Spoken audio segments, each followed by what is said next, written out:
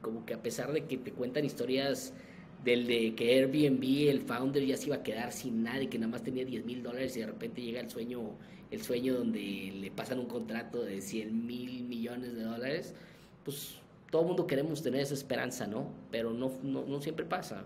Entonces en nuestro caso era muy complicado porque sí se requería capital para operar y no veíamos que el mercado estaba haciendo algo de deployment de capital. Eh, y bueno, pues tenemos que decir, oigan señores, pues hay que cerrar, pues no hay, no hay más, ¿no? Y lo hicimos gradualmente y, y pues la decisión es muy difícil. Hoy estoy con Raúl Maldonado otra vez. La primera vez que grabamos fue el episodio 74, en donde hablamos de la historia de Boitas. Si no lo has escuchado, te recomiendo escucharlo. Este episodio es una continuación de su historia y hablamos de un tema complicado, el cierre de Boitas. Platicamos de temas que normalmente no se tocan. La presión mental, el burnout de emprender, las complicaciones legales y financieras de cerrar una empresa. Es importante recordar que el 90% de las startups cierran. Y cerrar una startup es algo natural de la vida de los emprendedores. El emprendimiento es un maratón. He visto casos de muchos emprendedores que no les va bien en su primera startup, pero en su segunda, tercera o inclusive cuarta empresa les va mucho mejor. Así que no tiene nada malo cerrar, es algo natural del emprendimiento. Espero que disfrutes esta plática tanto como yo. Raúl, bienvenido a Fundadores, es un gusto tenerte de vuelta por acá. No, hombre, Alex, siempre es un placer estar en Fundadores y más pues, contigo. Gran amigo y aparte inversionista y, y bueno, todo. Gracias.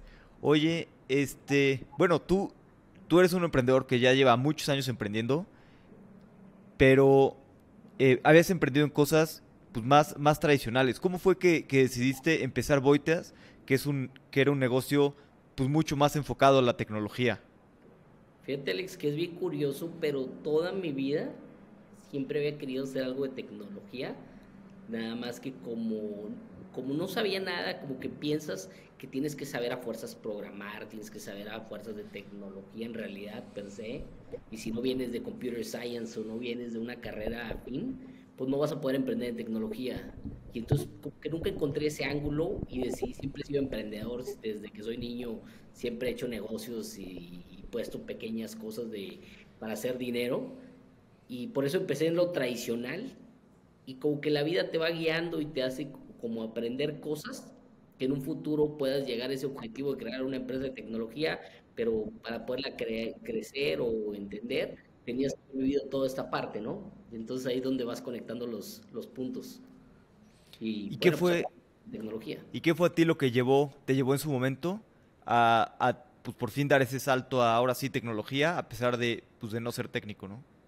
Fíjate que cuando invertí, invertí yo cuando regreso de estar 10 años en China, un año en Argentina, abriendo operaciones en muchos países, proveeduría, veo una oportunidad donde me presentan una persona, que después fue mi cofounder Marcelo, y me enseñan que estaba creando una empresa de tecnología, me platica Marcelo, me junto con él, me gusta el negocio, el negocio que tenía él operando, el startup, y le invierto. Y dije, mira, creo que es un buen acercamiento para verlo desde las gradas como inversionista, como ángel inversionista, cómo funciona, qué te piden los inversionistas, qué tal los emprendedores. Y, como que ese fue mi primer paso, ¿no? Y me tocó vivir los, los malos, pues las malas épocas de Marcelo, las buenas, las malas, y hasta que pudimos pues dejar la empresa y, y en realidad venderla. Estuvo muy padre. Buenísimo. Oye, ya un poquito hablando de, del, pues del camino de, de Boitas, ustedes eh, fundaron la empresa, luego pasaron por, por Y Combinator, levantaron capital, eh, estuvieron creciendo, eh, luego pues tuvieron que cambiar el modelo de negocios varias veces, estuvieron pivoteando y, y al final, al final del año pasado decidieron cerrar la empresa. Sí, fíjate que en el tema de Boitas fue un modelo y súper interesante y eso es lo que me gusta mucho del ecosistema de emprendedores desde la perspectiva de inversión, de aceleradoras, porque tú crees que tienes el modelo perfecto cuando arrancas y cuando arrancamos Boitas, siempre con un enfoque B2B, diciendo, oye, vamos a hacer un marketplace B2B y lo que va a hacer es traer, va a ser un canal digital de expulsión para todos los grandes importadores y fabricantes que tienen productos eh, sin exposición digital y que puedan vender B2B y así pueda ser como que el win-win, ¿no?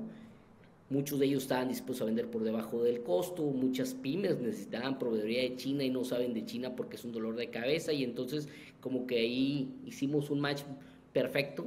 Entonces lo interesante era que para mes 4 ya vendíamos 5 millones de pesos, entramos a Y Combinator y lo primero que nos dicen Y Combinator, ¡pum! Tu modelo no funciona. ¿Cómo?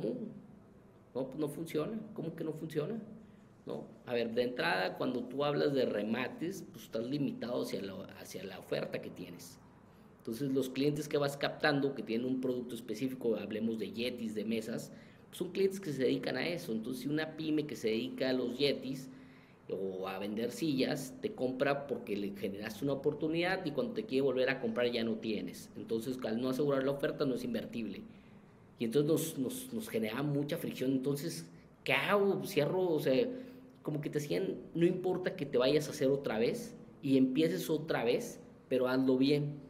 Y entonces como que te daban la confianza de decir, ok, entonces busca el camino. O sea, esto, estás hablando de que vas en una carrera, ¿verdad?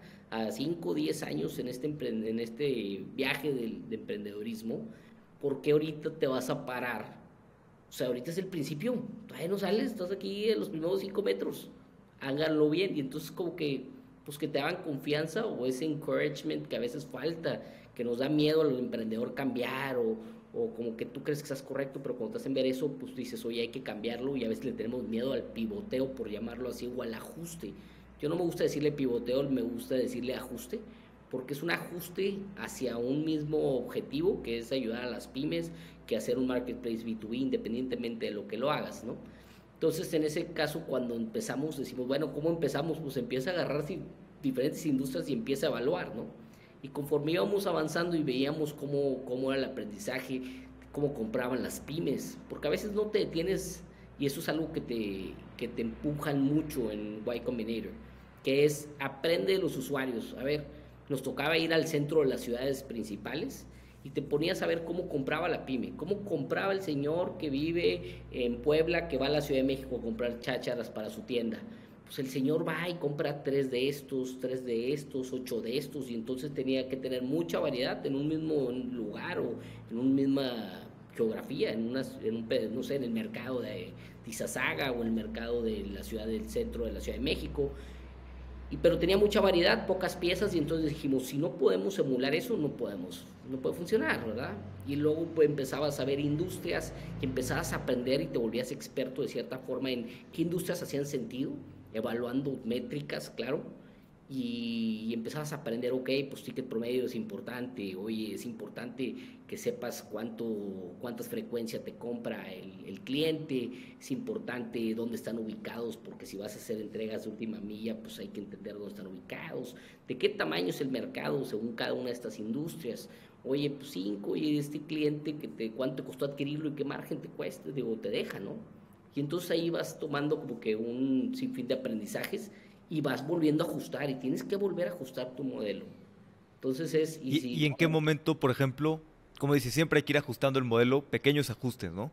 Pero a veces hay que hacerle grandes ajustes y mover bastante eh, a otra cosa. ¿En qué momento como que decides esto, no? Porque yo he visto muchos emprendedores que a veces pues, están construyendo algo y, y, pues sí tienen clientes, pero poquitos, ¿no? No, no suficientes, no, no algo que les da ese gran crecimiento, pero les da miedo probar otras cosas. Yo creo que eso es yo también lo veo, siento que siempre el problema es el modelo de negocio. Eh, siento que nos da miedo a la mayoría cambiar, porque qué van a decir los inversionistas, qué va a pensar. Pero claro, si vas a armar un negocio y ves que hay una oportunidad más grande dentro de tu camino, pues es cambiar hacia buscar algo mejor, no, no hace algo peor, ¿verdad? Y no puedes quedarte necio si no está funcionando. Te tienes que seguir moviendo y probando hipótesis, planteando hipótesis nuevas nosotros lo que hicimos es nos planteamos ocho hipótesis y dijimos, a ver, vamos a la industria de la barbería, de electrónicos, de la belleza. Y entonces cuando empezamos a evaluar, pues el mercado te decía las cosas. Te dabas cuenta que en belleza, que se ve bien atractivo, todas las mujeres compran productos, pero en el B2B es más complicado. La gente busca marcas para poder revender marcas que ya están posicionadas. Eh, vender belleza requiere educación, oye, pues tienen la infraestructura, no la tengo. Oye, cómo, cómo es el tema de pagos y entonces te empiezas a dar cuenta que no va por ahí y descartas industrias. Oye, la barbería, oye, pues ticket promedio, pues mil pesos, frecuencia una vez de insumos a la semana, o al mes, pues es muy poco, ¿verdad? Y el margen, pues era muy bajo y entonces no hacía sentido por el costo de adquisición de usuarios. Y entonces, después de ocho meses, dices, oye, a ver, ¿qué sí funciona y qué no se funciona? Con la tesis que tenemos. Somos un B2B marketplace donde lo que buscamos es frecuencia, tickets altos, eh, buscamos que el tamaño del mercado sea suficientemente atractivo para que sea un billion dollar company. Porque te cuesta lo mismo hacer, trabajar en un negocio que va a ser de 1 billion que uno de, de 5 million. Entonces, eso, te enfocas en algo grande, o go big o go home, ¿no? Porque es el mismo esfuerzo. Entonces veíamos que, que tanto este cliente pues adoptaba la, digitalización. Entonces nos dábamos cuenta que la oportunidad gigante que vimos en su momento era el tema de comida. Uno, porque no había lealtad, no había servicio, no había, se perdía mucho tiempo, era un tema muy price driven y entonces dijimos, a ver si los económicos se juntan así o se alinean de esa forma, esto va a ser un hitazo. Lo que tienes que, lo que pasa es cuando haces un ajuste de esos, Depende de, tu modelo de negocio, es lo que tienes que determinar si, oye, ¿qué requiere este negocio para que funcione? Oye, necesitas dinero. Pues si no traes lana, compadre, pues, pues no, no va a funcionar. O sea, es, y es porque tienes que optimizar rutas, porque tienes que optimizar eh, activos que tienes, ya sea para servir a cada cliente. Y entonces dices, bueno, como Amazon, como Tesla, como muchos de ellos al principio perdieron dinero para poder llegar a una rentabilidad, pero ya que tienen esa masificación, esa densificación de rutas, de clientes, se vuelve mucho más fácil, ¿no? Entonces, ahí necesitas un, necesitas un brazo financiero. Nosotros lo que nos pasó es que dijimos, no hay que diluirnos en el 21. muchos dijeron, no, yo voy a aprovechar en el 21 que te están dando dinero a evaluaciones sí lógicas para levantar capital y dijeron, pues levantamos 30 meses de runway. Nosotros dijimos, no, Vamos a levantar poco para el 22 llegar con números y poder en realidad levantar una buena cantidad de capital. Y pues nadie se espera que iba a haber una caída del mercado, una desinversión de los venture capitals, que, iba a ser más complicado, ¿no? Como que nunca lo esperas como emprendedor y, bueno, pues a veces, como me dijo un inversionista, te, aplastó el mercado. Pues bien, o sea, y es parte de, jugar a este juego del, del emprendedurismo.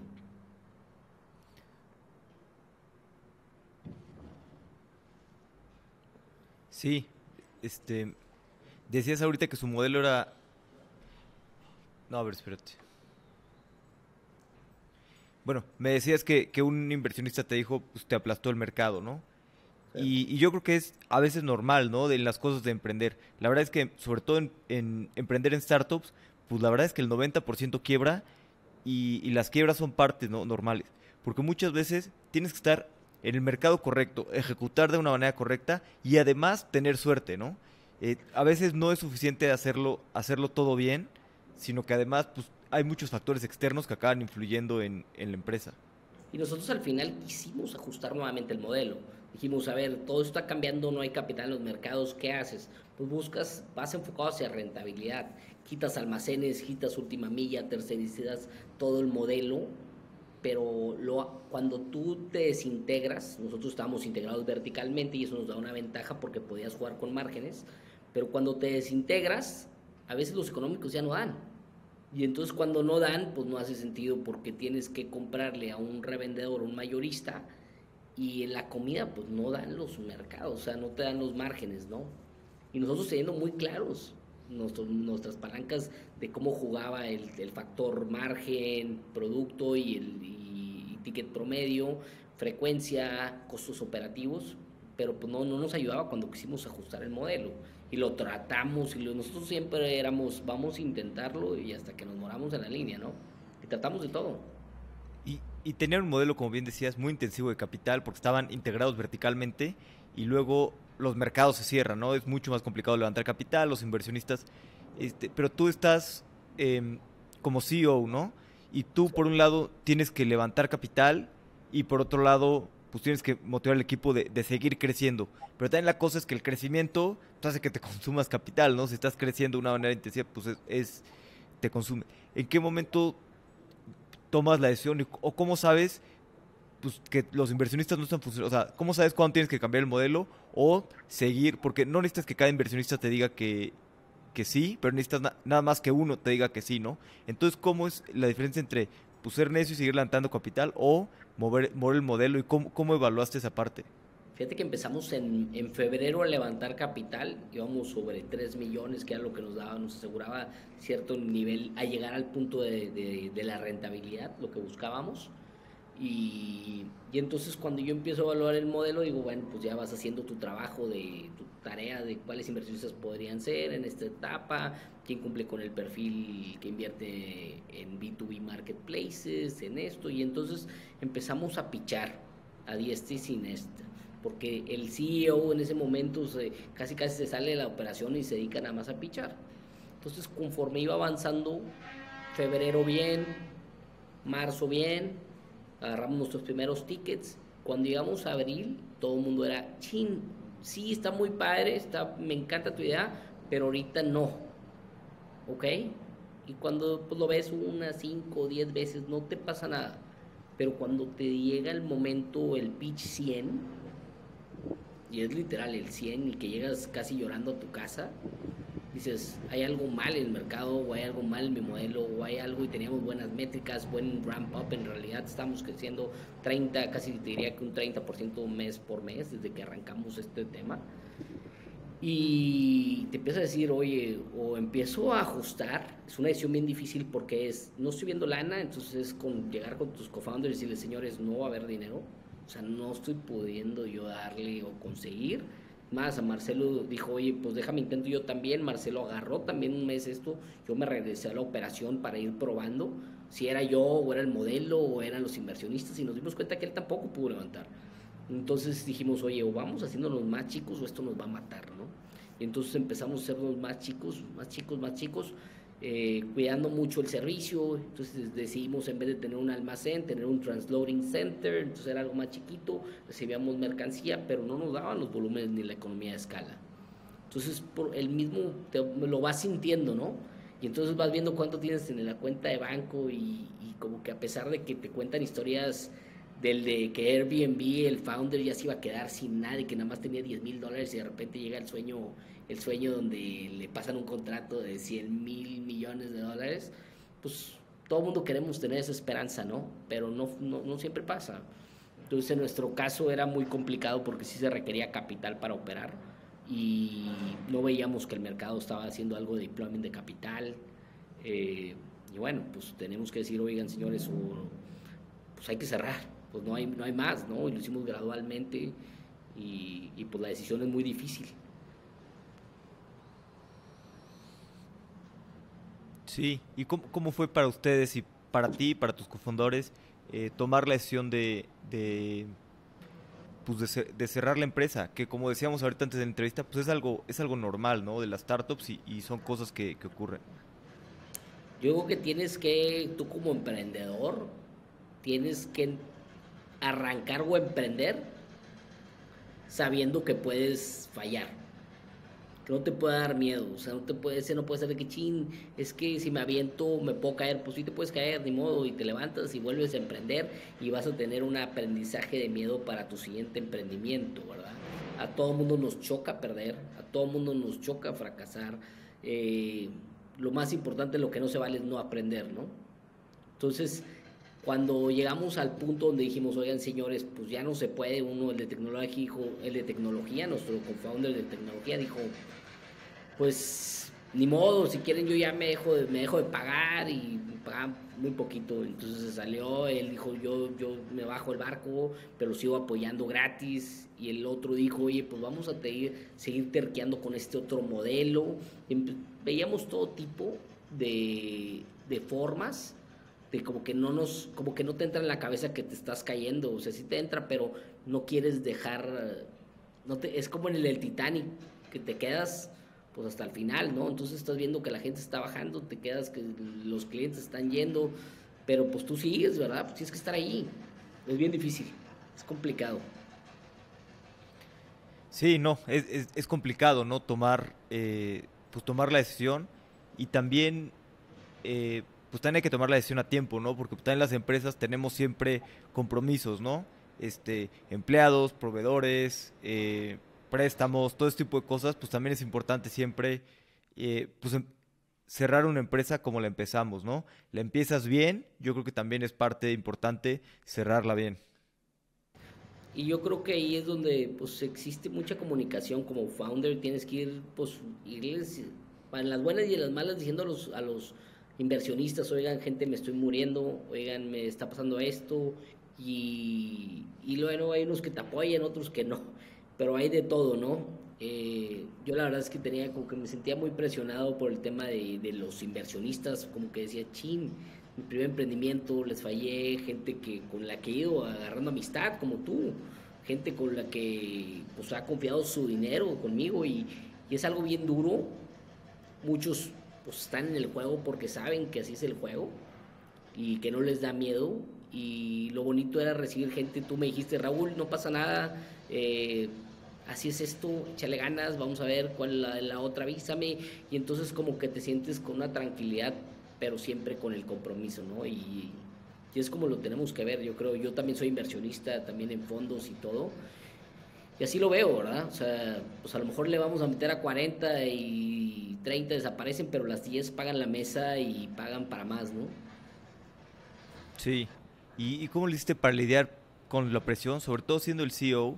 Porque a veces creo que es, es un poco solitario el camino del CEO, ¿no?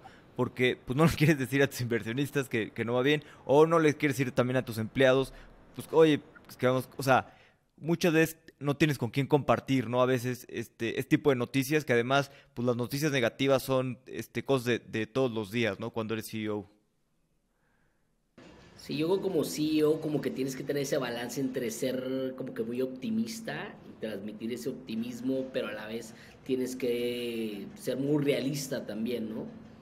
Yo digo que lo que me ayudaba a mí es que si era, la situación está así, vamos a ser menos en el equipo porque creemos que tenemos que ser más chicos para poder agarrar vuelo y si levantamos capital y como que en el equipo internamente siempre lo transmitíamos muy transparente y con los inversionistas, con los updates íbamos diciendo cómo iba, ¿no?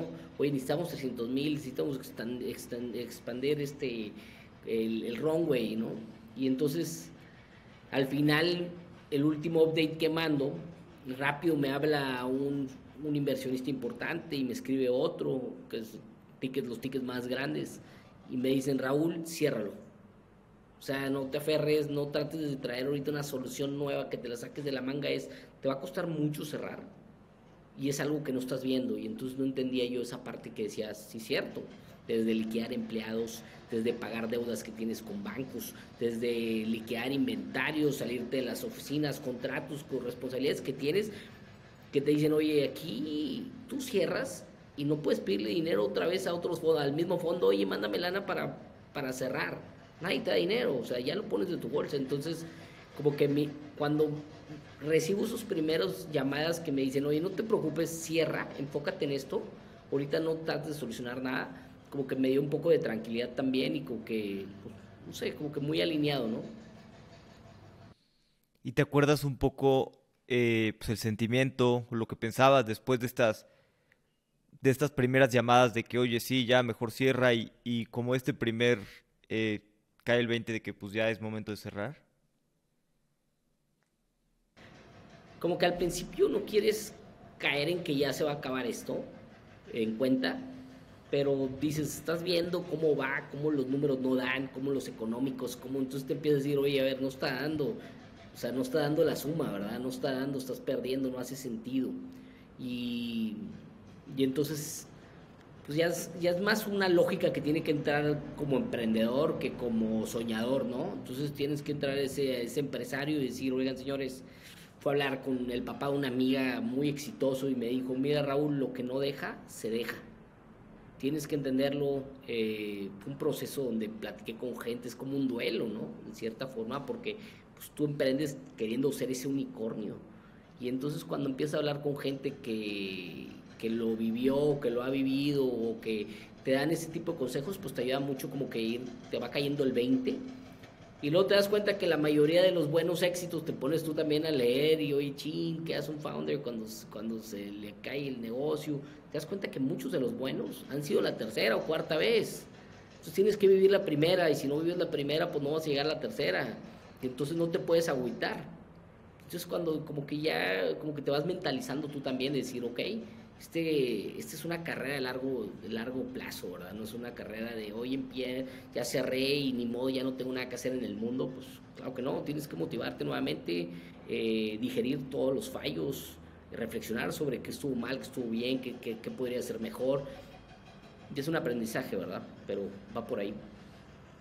Sí, no, y qué bueno que tomaste a veces creo que como emprendedores estamos tan metidos en una cosa que tenemos como ceguera de taller, ¿no? Y ya hay muchas cosas que, que no vemos y a veces pues también es difícil, ¿no? Compartirlo con otras personas, acercarte a alguien y decirle, oye, estoy este, cerca de quebrar y este tipo de cosas. Eh, tú, como que siento que nos da, nos da pena, ¿no? Hablar con las personas y decirles. Oye, Marcelo, mi socio, mi co-founder, que lo, lo, quiero mucho, siempre que hablo, siempre que hablo de Marcelo, ¿cómo vas? Vamos muy bien es bien positivo y entonces estaba muy padre porque pues siempre me tenía motivado, pero yo era muy realista, ¿verdad? Porque yo todo, veía todos los números, veía todas las cosas, entonces decías, Marcelo, todo el mundo que llegaba y me dijo, sí, ya hablé con Marcelo, que van increíble. Y decía, no sé qué les había platicado, pues Marcelo era muy positivo y creo que por mucho tiempo ese positivismo nos ayudaba muchísimo. Al final era, ching, te topabas a alguien y te decía, oye, y, y yo honestamente la verdad es que soy muy transparente, o sea, no puedo decir vamos bien cuando no vamos bien. Entonces yo decía, oye, pues sí, se nos complicó, está bien complicado porque pues, la optimización de activos nunca nos dio, los económicos no dieron y, nos quedamos sin capital y entonces estamos batallando. Ah, yo no sabía, ah, pues es parte, yo creo que es parte y el hecho que lo vayas platicando, la gente también a veces hasta te da su opinión, oye, yo también viví esto, hay gente que me sorprendía, que me decía, oye, yo, que tú pensabas que era también muy exitoso y en realidad no era exitoso, sino que le he ido muy mal. Me junté con gente que tenía deudas y tú decías, no, el negocio de esta persona es increíble.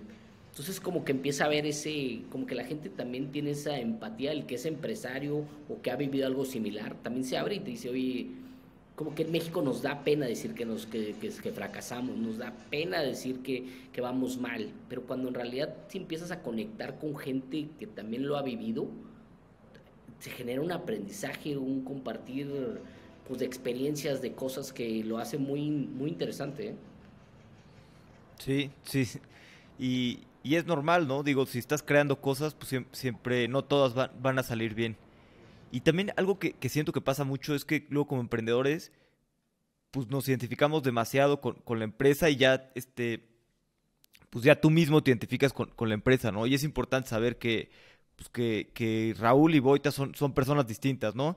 Y a pesar de que seas el CEO, eh, como que luego todo lo que le pasa a la empresa sientes que, te afecta bastante a ti. Y yo he visto muchos casos de personas que eso les, les pega mucho en, en la salud mental. Yo, yo lo que creo es que si tienes que separarte, a mí te lo juro, y te lo juro, Alex. A veces voy así caminando en un súper y me dicen, Boitas. Pasa una chava y me dice, Boitas, tú eres el de Boitas. Le dije, no, yo soy Raúl Maldonado, ¿verdad?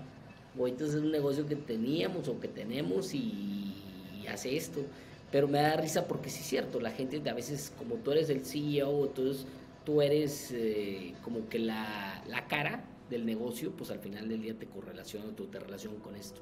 Lo importante es saber quién eres tú y para qué eres bueno y que pues esto es un, un negocio, pero puedes tener cinco negocios, ¿no? Y cada uno tienes, tienes que saberlo, como que darle su, su identidad y tú separarte de este ente que es mayor a uno, que es mayor que uno. Sí, ¿y, y cómo haces con, tú me comentabas que has hablado con, con otras personas eh, y eso te ha ayudado bastante, ¿no? Eh, creo que ¿qué otras cosas, o sea, cómo, cómo cuidas tu salud mental en, pues en estos momentos, ¿no? Que son tan, tan complicados de pues, todo el estrés, de, de estar tratando de sobrevivir, luego cerrar, eh, y pues todo el estrés. Fíjate que al principio, como que desde diciembre ya como que ya sentía esa presión de que ching ya vamos, y decidí hacer todo lo, a lo mejor lo, como que ya llevaba dos años y medio viviendo, comiendo boitas, desayunando boitas, cenando boitas, soñando boitas, que a veces te descuidas tú en lo personal. Y en diciembre dije, ¿sabes qué? Es que necesito yo pararme a caminar, necesito hacer ejercicio, necesito dejar de comer pues azúcar si me hace sentir pesado, eh, necesito empezar a cuidarme. Y en diciembre empecé así, de, dije, ¿sabes qué? El 4 de diciembre, y a lo mejor muchos dirían que mal mes, pero creo que es el, el mes perfecto porque es donde tienes más, más eh, tentaciones, ¿no? Entonces si puedes pasar diciembre y enero pues yo creo que ya lo demás como que te vas sintiendo mejor. Creo que eso va cambiando, va cambiando el hecho de que te levantes, hagas ejercicio, que duermas bien. Y entonces fui cambiando esa parte, escuchando podcasts, aprendiendo de más gente. Eh, y está muy padre porque como que dices, chin, muchos emprendedores nos enfocamos o estamos tan, tan enfocados en la cima o en la meta o en el objetivo o en este hito y a veces dejamos de disfrutar el viaje, ¿no? Y entonces te, a veces te preguntas por qué empecé esto, ¿no? Si, si cuando ya empiezas a hacer algo que no disfrutas. Yo la verdad es que dije, me tengo que cuidar yo para estar bien yo, porque si no, pues esto se cierra y, cerrado el negocio y aparte tú estar mal, creo que es, es una espiral negativo muy malo, ¿no? Entonces dije, ¿sabes qué? Me tengo que sentir bien yo y que Dios sea, o sea, que lo que venga, poderlo estar al 100 yo. Y, eso es lo que me ha ayudado mucho estar corriendo, estar haciendo ejercicio, eh, dormir muy bien. Eh, y vas escuchando en muchos podcasts que es un patrón entre los emprendedores exitosos, entre la gente que se cuida primero ellos y eso les permite ser más, tener ese sharpness, ¿no? ese edge, para que puedan dirigir bien a sus equipos, para que las ideas funcionen. Y es increíble, pero estos meses o casi dos meses y medio me he sentido increíble. me siento muy bien. Qué bueno, sí, no, no hay como cuidarte a ti mismo y si tú estás bien, pues puedes lograr muchas más cosas, ¿no? Y estar me ¿Sabes qué me ha ayudado mucho? Es algo, dos hábitos interesantes, el de gratitud, dar gracias por lo que sí tienes y no por lo que no. Y el segundo es give back, o sea, dar de regreso ayudando a la gente con consejos. O sea, la gente me busca en Instagram y pues, hay gente YC, no YC, negocios chicos, negocios grandes que me buscan y a todo mundo le dedico tiempo de perdido cuando puedo, a todos les contesto con la intención de darles un consejo de lo que viví, lo que aprendí, para que ellos no cometan ese error, ¿no? Y creo que cuando tú compartes eso, te hace crecer mucho como persona, te hace sentirte bien y bueno, creo que compartes ese conocimiento, es importante. Totalmente, y qué bueno que has estado hablando con, con bastantes emprendedores ahorita y ayudando. Y, y como que has visto, ahora que has estado bastante con emprendedores, y que yo creo que a veces cuando estás empezando, con que te ayuden un poquito tal vez en, en modelo de negocio o en otras cosas, puede tener un gran impacto en la empresa, ¿no? Sobre todo esos ayudas al principio. Es curioso, pero ¿sabes lo que veo? Es que muchos no hacemos, o sea, hay mucha teoría de esto de ser emprendedor, pero muchos de nosotros nos falla a veces el modelo de negocio y nos da miedo cambiarlo y lo que he visto es que muchos de estos chavos que crean algo, me ha tocado hablar con chavos que tienen una tecnología padrísima, pero no creen en el proyecto ni siquiera. Entonces tú dices, pero pues es que si no crees en el proyecto nunca va a ser exitoso.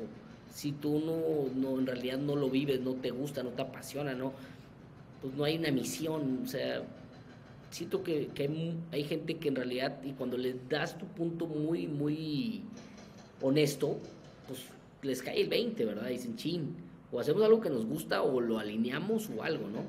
Fallan, fallan muchos o fallamos muchos en el modelo de negocio.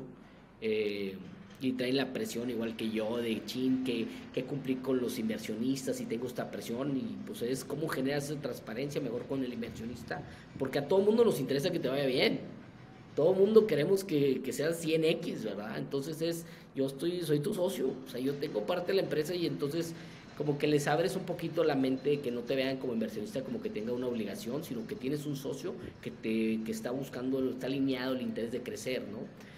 He hablado con todo tipo de negocios tradicionales, no tradicionales, eh, ideas que a veces te planteas, he estado dando pláticas, ahorita vimos, vi una plática la semana pasada de los chavos del Play, de, de esos del TEC de Monterrey, que van a esas misiones a África y a diferentes partes del mundo, y veo que cómo, cómo plantean las ideas que a lo mejor no nos enseñan de forma correcta en las escuelas y cuando los bajas a un tema de negocios cambia mucho la perspectiva y el ayudarlos a cómo bajar esas ideas hacia algo real, que hablen con usuarios, que el feedback, pues ahí está, ¿verdad? La gente, nada más hay que hablar con ellos. Y entonces el hecho de que puedas construir algo que la gente ame, pues hace una gran diferencia. Entonces, como que transmitir ese mensaje creo que ayuda mucho y yo sí siento que tiene un impacto. Sí, totalmente. Yo a veces lo que he visto en muchos emprendedores, que digo, yo también he hecho eso muchas veces, es que a veces nos da miedo cerrar o cambiar de modelo de negocios por como el, el costo perdido, ¿no? Oye, es que ya llevo un año en esto. Bueno, pues sí, pero tal vez un mercado muy pequeño, tal vez tus usuarios es un nice to have, o sea, llevo un año construyendo esto, pues sí, pero tus usuarios no pagan, ¿no? Es un producto gratis y, y como que no, nos da miedo, como que ese tiempo que ya llevamos dedicándole unas cosas, pues cerrar o cambiar y, como que perder ese tiempo, ¿no? Y he visto esto pues, muchísimas veces, yo obviamente he hecho mil veces eso, que, que no quiero cambiar eh, algo que, que no está funcionando porque pues ya le dediqué tiempo y ese tipo de cosas. Oye, y esto, y esto pasa en negocios grandes y chicos, ¿eh? Ahorita acabo de hablar con unas personas que tienen un negocio muy grande que dicen, oye, es que nosotros le damos servicio al gobierno y yo, pero ¿por qué no ves toda la industria? El gobierno mañana cambia y marcha tu negocio. Y en cambio tú tienes una tecnología que desarrollaste que puede servir para conectar todo lo que es el Internet de las Cosas y hacer muchas conexiones entre la información que generan, todo lo que haces, y estás enfocado en algo que mañana cambia, que hay tanta incertidumbre. Sí, pero es que nacimos así, pues, pues ya deshazte esto porque va cambiando, ¿no? Entonces nos cuesta cambiar, nos cuesta abrir la mente y a veces tiene que llegar un señor, como dicen, alguien de algún lado y te tiene que platicar o te tiene que decir y eso te ayuda a que te caiga el 20, ¿no? Porque a veces no lo queremos ver. Sí, sí, de acuerdo. Oye, y me, me comentabas que ahorita has estado eh, descansando bastante bien, corriendo y cuidando de ti mismo. Yo, yo había leído que normalmente cuando acabamos algún eh, proyecto que nos va mal y nos cansamos, alguna empresa, eh, bueno, yo, yo, en lo personal, que las personas, acá, acá muy cansado, ¿no? Y muchas veces tú dices, oye, pues necesito tres meses de descanso, cuatro meses, y lo que yo había escuchado como, un, oye, lo que tú calcules que vas a necesitar de tiempo, pues más o menos va a ser el doble. Si dices que va a ser seis meses, pues va a ser un año. Un, amigo mío también hizo una empresa que, que, fue grande y luego, luego cerró. Este, pues tuvo como dos años que me decía, no, es que estoy muy cansado, sigo quemado, este, no, no puedo, no hacer nada. Y creo que también es, es normal, ¿no? Y está bien tomarte un tiempo de descanso y, cuidarte a ti mismo. Yo fíjate que depende, yo creo que de cada emprendedor. A mí me llena el alma escuchar y escuchar negocios y estar recibiendo esas como que ayudando gente, ahorita como de cierta forma, pues desde una perspectiva, a lo mejor una visión más como inversionista, que es algo que, que se me da naturalmente, que puedo dar un consejo que a lo mejor sí puede cambiar la vida del emprendedor o de la empresa. Y también invertir, creo que es algo que me gusta. Y entonces, eh, no sé, como que a mí, ahorita que, más que descansar, sí me la tomé más tranquilo, ya sin esa presión de, ay, chin, tengo que eh, pero me, me, gusta seguir escuchando, me gusta seguir eh, viendo cómo aportar, ¿no? Y eso me llena el alma, es como correr para mí, me genera esa endorfinas, ¿no? Que dices, oye, escuchar negocios y dar tu opinión y que te escuchen, creo que genera y que les pueda generar valor, pues creo que te genera también una, una felicidad. Claro. Oye, y ahorita viendo con un poquito más de perspectiva eh, el cierre de la empresa y, todo, eh, ¿qué te hubiera gustado tal vez hacer distinto? ¿O qué le recomendarías a alguien que, pues, que o sea, ¿qué, no calculabas que de repente, que, pues, que es un buen aprendizaje? Yo creo que el, clavarte las métricas o armar un panorama de métricas, en este caso nosotros, por ejemplo, cuando abrimos almacenes y abrimos una infraestructura un poco más robusta, se hubiera hecho los cálculos a lo mejor inicialmente de que hubiera dicho, a ver, si yo ahorita no estoy recibiendo 5 mil pedidos, a lo mejor no vale la pena crear, agarrar esa infraestructura, porque el costo del servicio para llegar a esa optimización de pedidos o rutas, pues me va a llevar cierto número de tiempo y en capital se te va a ir mucho dinero. Mejor lo enfocamos a desarrollar más tecnología que en realidad pueda servir más o aportar más, ¿no? Entonces creo que me hubiera enfocado más en los económicos lo del capital es algo que no puedes predecir de ninguna forma, no piensas que no va a caer, no va a haber mercado, siendo bienes de un año súper bueno, vas a decir, piensas que va a haber más años iguales y bueno, pues eso es infortuito, ¿no? Es algo que no, no podía controlar, pero lo que sí podía controlar era decir, bueno, a lo mejor en el 21 esa proyección lo hubiera hecho más grande y hubiera hecho, oye, pues yo sí necesito tener 3 o 4 o 5 millones de dólares y necesito aprovechar ahorita como muchos lo hicieron, ¿no?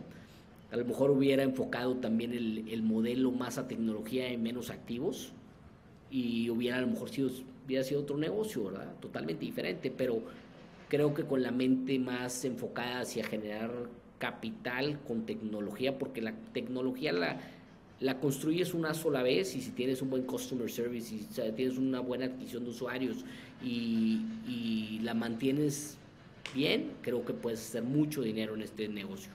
Entonces, como que me hubiera enfocado más, 100% más a tecnología, más que meter, meterme algo a assets pesados. Total. Y, y un poquito con respecto a, a la parte legal y, y y todo de cerrar, que es bastante complicado, sobre todo aquí en, en México, ¿no? Llevar una empresa, cerrar una empresa es tardado, este, hay que dar de baja también en, en el IMSS y todo ese tipo de cosas. ¿Cómo, ¿Cómo, fue tu experiencia? Porque además, pues ustedes levantaron dinero de inversionistas internacionales, entonces, este, pues tenían la ciudad en México, en Estados Unidos y demás. ¿Cómo fue tu experiencia, eh, pues de llevar toda la parte, sobre todo de legal, de trámites y todo eso que, que hay que hacer al, al, al, decidir cerrar?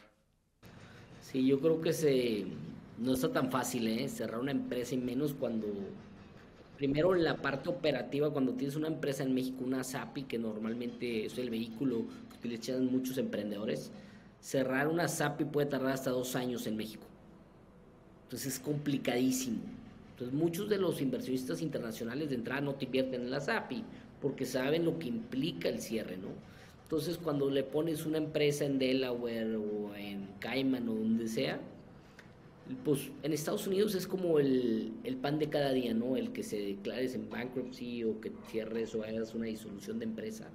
El problema es cuando tu empresa de Delaware pues es la dueña de la SAPI y entonces el deshacer ese, ese acuerdo es, bueno, ¿cómo regresas las, las acciones y todos los inversionistas dicen, no, yo no quiero las acciones de la mexicana para nada.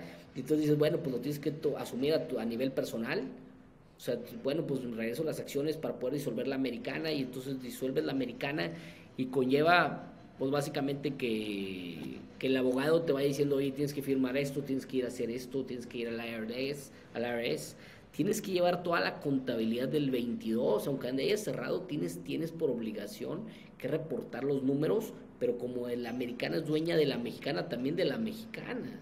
Se vuelve una doble contabilidad y es una chamba de tienes que hacer la chamba, o sea, desde hablar con el contador, bajar todos los estados financieros, armarlos y luego ver cómo impacta en, aquí en la empresa, ¿no?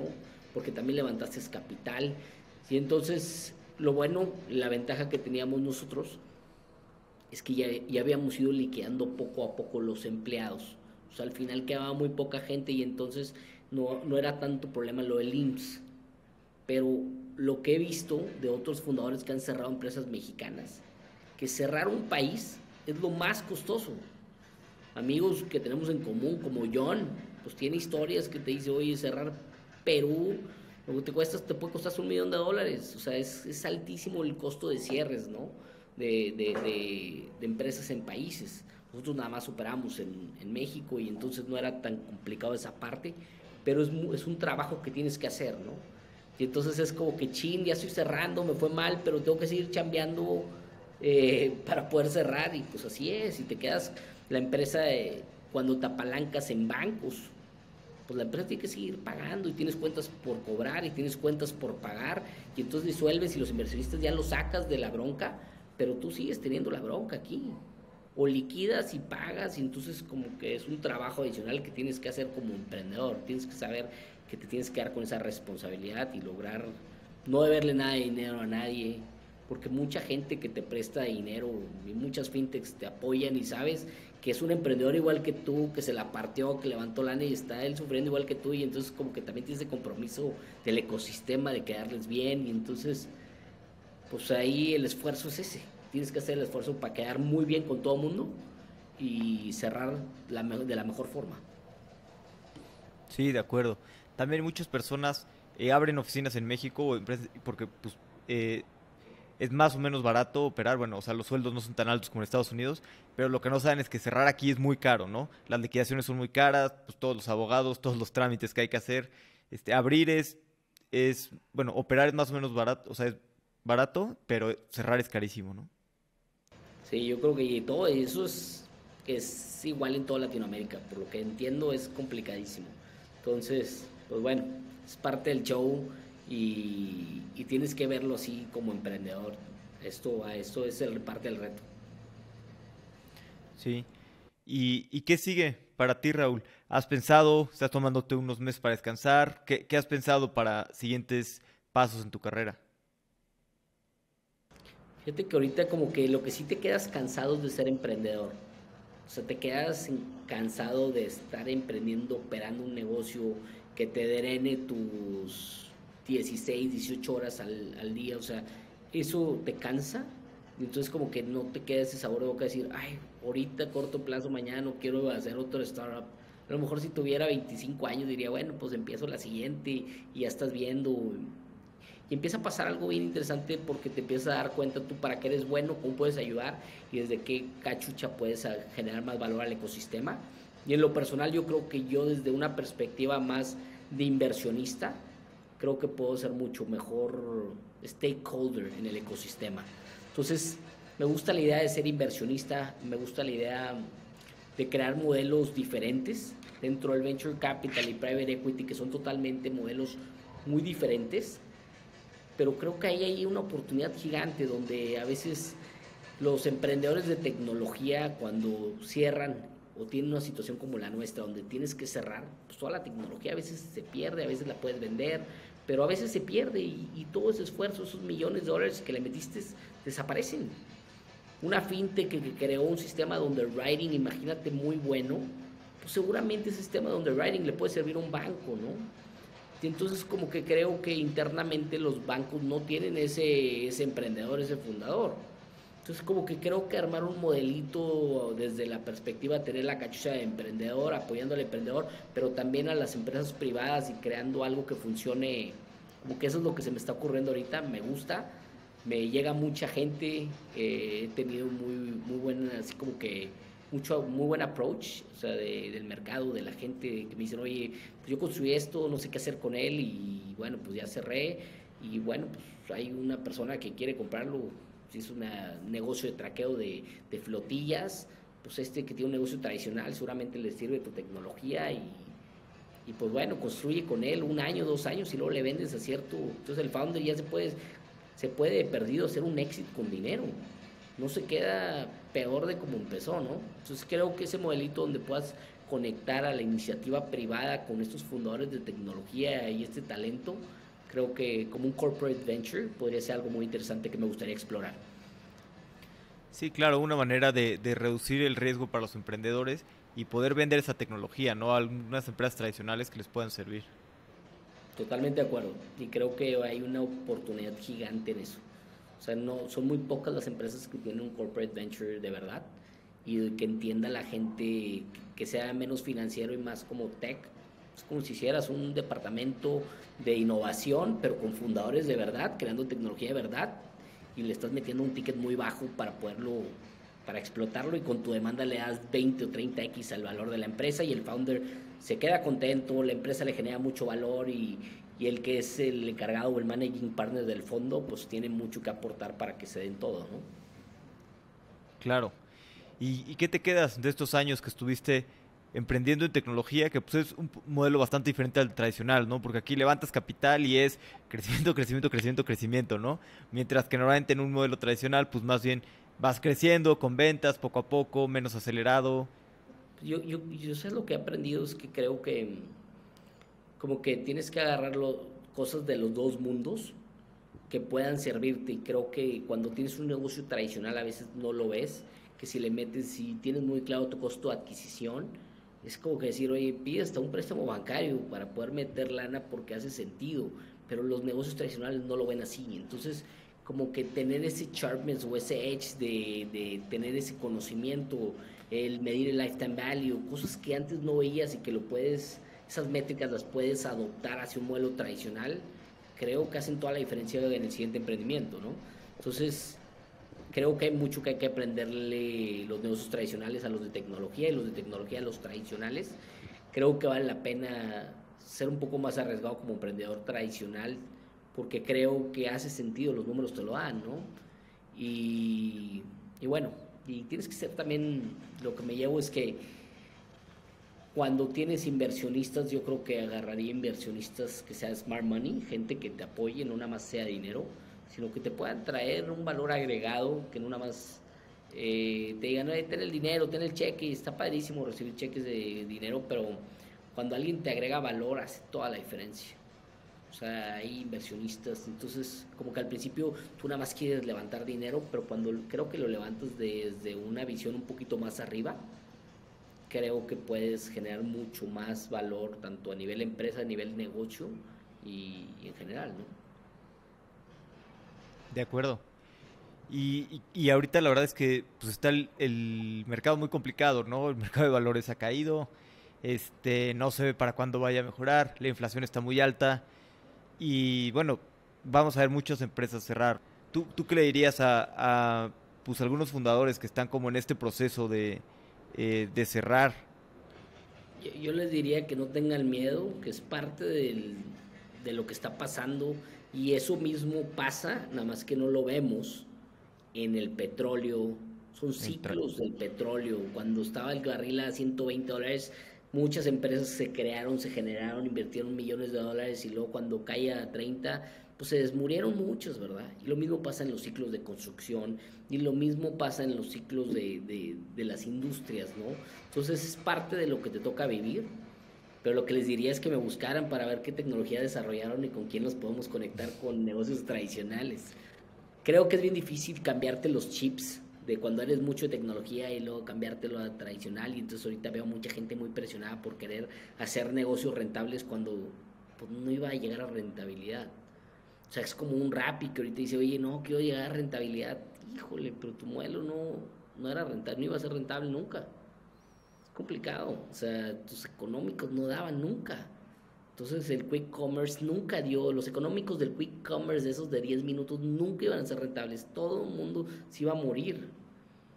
Y no saben pivotear, hacer un, eh, un desarrollo, no sé, una empresa de última milla tradicional que puedan entregar en motos como un quality post y entonces se mueren en el intento porque no saben hacer ese shift tan rápido, ¿no? Y ahí es donde tenemos que ayudarlos a los emprendedores a que sí puedan hacer ese cambio Oye, pues ya no vas a valer 10 ni 100 millones de dólares, vales uno, está bien, es uno, pero ve creando valor a través del tiempo y regrésate, ¿no? O sea, creo que es, uno tiene que quitarse el ego y, ni modo, a darle. Sí, totalmente, y creo que es eso, ¿no? Importante quitarse el ego, y si estás construyendo para el largo plazo, pues como dices, ¿no? muchos emprendedores pues no, no lo pegan la primera, tal vez en la segunda, tercera empresa, ¿no? y si y pues ya después de muchos años de emprender y aprendizajes pues es, normal que puedas emprender mucho mejor y cerrar es parte de, esto no cuando empiezas una startup tú sabes que es un pues es, de alto riesgo y que la mayoría va a quebrar no y, y, y pues es normal no no pasa nada este, no te debes de sentir avergonzado, al contrario, ¿no? Yo creo que hay que disfrutar el viaje, disfrutar los aprendizajes y aplicarlos en tu nueva, en tu nueva experiencia laboral, ¿no? Ya sea una startup o trabajar ahora en una startup, o pues ya si no te gustó este, este ambiente, también trabajar en una empresa tradicional, ¿no? Todo se vale.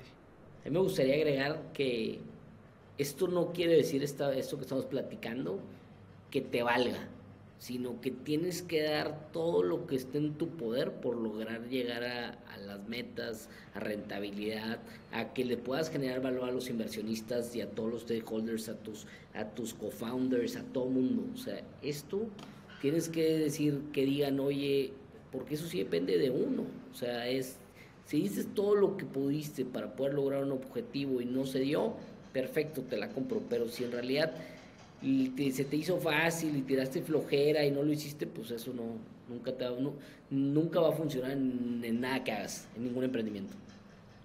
Sí, no, y también ahorita se ve, hay mucha gente que, que ya la situación se puso difícil y, y, quieren cerrar, ¿no? Y digo, se vale, está bien, pero pues la situación siempre está difícil, ¿no? O sea, construir una startup es complicado y, más bien el mercado en el que estamos ahorita, que es complicado, pues es el, mercado tradicional, normal, ¿no? Lo que se dio en 2021 de levantar capital y así, pues fue, fue algo anormal en el mercado. Así es, estoy de acuerdo. Oye, pues vamos a pasar a las preguntas finales, que son preguntas de reflexión. Eh, las preguntas son cortas, las respuestas pueden ser cortas, largas o, como quieras. Va. Eh, ¿Hay algún libro que te gustaría recomendar? Dos. Voy a poner dos porque es importante para cualquier emprendimiento. El test de la mamá, o le llaman The Mom Test, donde puedes aprender en realidad a cómo hablar al usuario sin ofrecerle tu producto, sino entender qué problema es el que tiene para que tu solución sí en realidad solucione lo que él está buscando, ¿no? Y el segundo se llama Monetizing Innovation, monetizando la innovación, donde lo que te dice es que construyas un producto con base al willingness to pay, que el cliente esté dispuesto a pagar por el producto que vas a construir, si no lo vas a, si no vas a, créeme que vas a construir un producto que nadie va a pagar por él y entonces no va a funcionar el modelo de negocio. Buenísimo, ese de Mom Test todavía no he leído, lo agregué ya a mi lista, pero... Do ¿Qué has cambiado en tu vida en los últimos cinco años que ha mejorado drásticamente tu vida? Creo que mm, ahorita mucho el tema de self-awareness, entender mucho para qué eres bueno, para que todo el esfuerzo que hagas pueda ser hacia algo que eres bueno y no tratar de, hacer algo que no eres bueno ni vas a llegar a ser bueno. Es una. Dos, ahorita el tema de deporte, entender que a veces eh, te da flojera y todo, pero tienes que hacerlo para poderte sentir mejor. Comer bien, dormir bien. Y por último te diría que que tienes que ver qué suplementos te pueden ayudar a ti. Cada uno somos diferentes, pero a veces una pasita de magnesio te ayuda hasta estar más sharp, un suplemento de algún tipo de vitamina y entonces entender qué es lo que necesita tu cuerpo, porque a veces no queremos aceptar que existe un desbalance o algo, pero el hecho de que te puedas tomar algo que te pueda ayudar, créeme que puede hacer mucho la diferencia. Sí, de, acuerdo. Eh, ¿Tienes algún consejo que te hayan dado que te ha servido mucho? creo que lo que he aprendido es de... Yo soy una persona que cuando estoy haciendo algo muy enfocado y a veces como que pierdo la parte social, pues estoy enfocado y es, business, business, business y entonces estoy nada más clavado en el negocio. Creo que lo social te permite como que desconectarte de esta parte de business y entonces el consejo es busca a tus amigos, gente conozcan, tus familiares, platica, junte a comer una vez con ellos a la semana o dos si puedes. Créeme que te da como que ese rest o ese descanso que requieres mental para poder ver cosas que no tengan que ver nada con tu negocio. O sea, a pesar de que tengas un startup, el negocio que sea, creo que te ayuda a tocar en la parte social. Es muy importante. Sí, de acuerdo. Y mientras más vamos creciendo, se vuelve más complicado, ¿no? Ver a tus amigos y, creo que hay que darse el tiempo, ¿no? De buscar a tus amistades y, estar con ellos. Si no, luego te la pasas trabajando y, pasa la vida y... Te quedas solo.